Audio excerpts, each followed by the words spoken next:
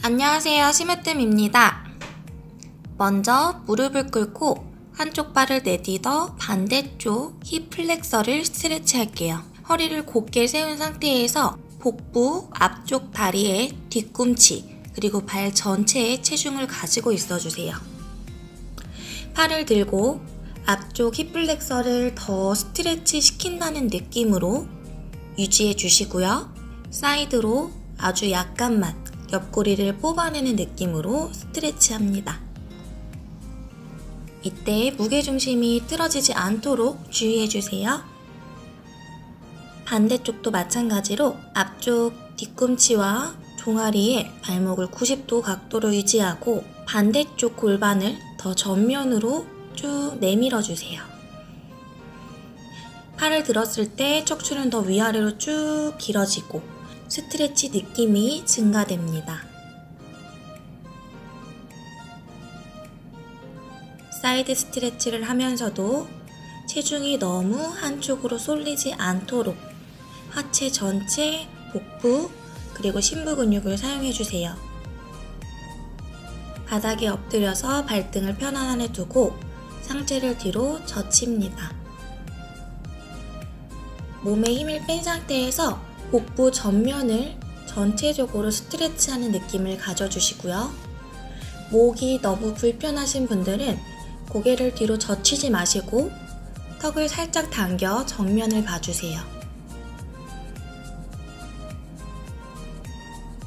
손목이 아프시는 분들은 바닥에서 어깨를 최대한 멀리 보내는 느낌을 사용합니다. 바닥에 누운 상태에서 한쪽 다리를 가슴으로 안아주시고 호흡은 편안하게 해주세요. 왼쪽 다리가 너무 뜨는 분들은 무릎을 구부린 상태에서 진행합니다. 발바닥을 무릎 안쪽 허벅지에 대주시고 허벅지 앞쪽과 골반 전체를 스트레치 해주세요. 무릎이 바닥에 닿지 않아도 괜찮습니다.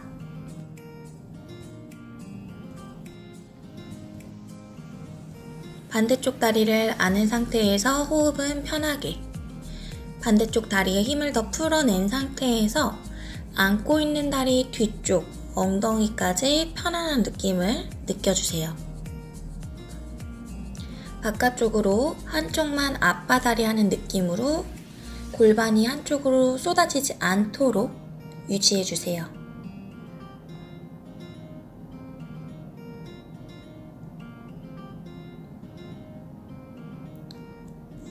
한 다리를 다시 안고 발목을 flex, point 반복합니다. 이때 발바닥을 최대한 길게 사용했다가 뒤꿈치를 멀리 보내서 전체적으로 종아리 주변이 시원해지는 걸 느껴보세요.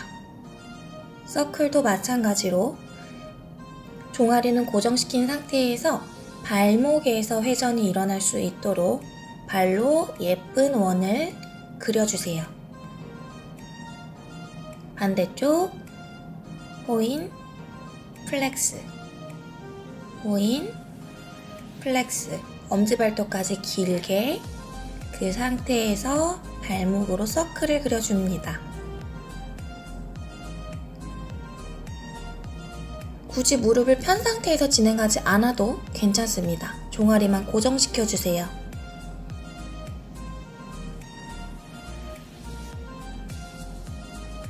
그대로 앞바다리 모양을 만들어 반대쪽 다리를 가슴 쪽으로 안아주세요. 유연성이 가능하신 분들은 정강이, 그렇지 않은 분들은 허벅지를 안아주시면 됩니다. 호흡은 편하게.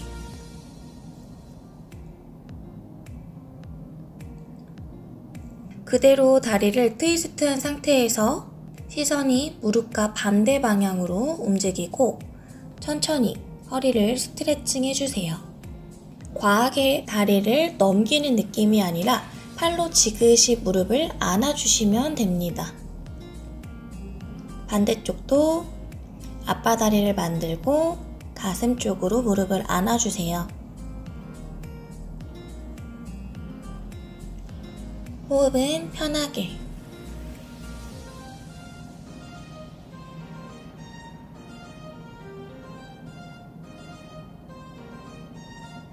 팔을 풀어 다리를 내리고 반대쪽으로 무릎을 넘겨 허리를 트위스트 합니다.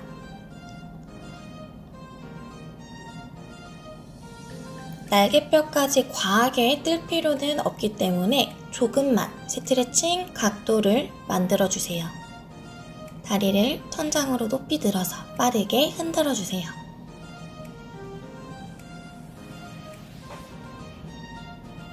아주 빠르게 탈탈탈. 다음은 팔도 천장을 향해 들고 동시에 손목 발목을 털어주세요.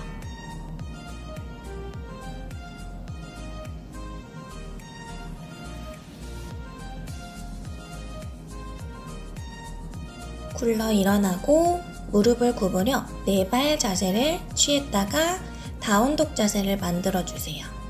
다운독에서 한쪽 까치발씩 번갈아 들어주면서 허벅지 뒤편과 종아리를 시원하게 늘려주세요. 저는 양말 때문에 발이 조금 밀리고 있는데 맨발 또는 미끄러지지 않는 매트 위에서 해주세요. 이때 엉덩이는 너무 실룩거리지 않도록 주의합니다.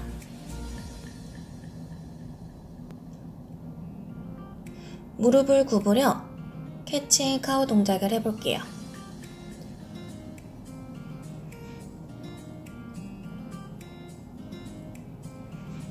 마시는 숨에 캣 동작으로 몸을 예쁘게 다시 꼬리뼈를 말아서 카우 동작으로 수쿱 척추를 길게 정수리에서부터 꼬리뼈까지 뽑아내고 가져오는 느낌으로 동작을 실시해주세요.